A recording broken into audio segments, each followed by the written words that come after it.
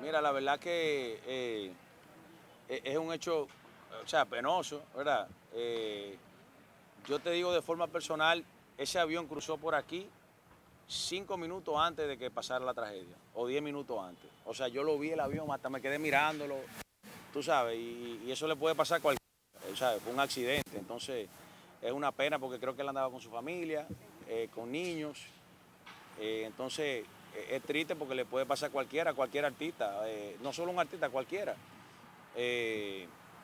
entonces es lamentable y ahí es que tú tienes que repensar las cosas y, y, y ver que la vida es frágil.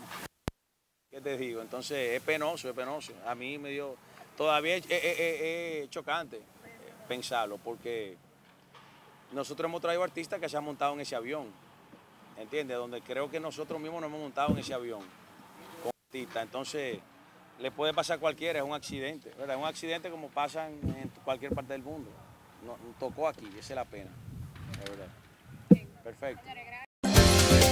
La página de espectáculo y entretenimiento más actualizada.